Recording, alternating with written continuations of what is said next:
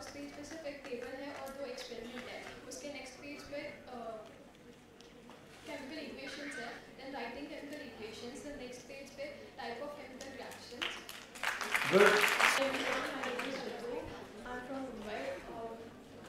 After workshop, थोड़ा volume बढ़ा।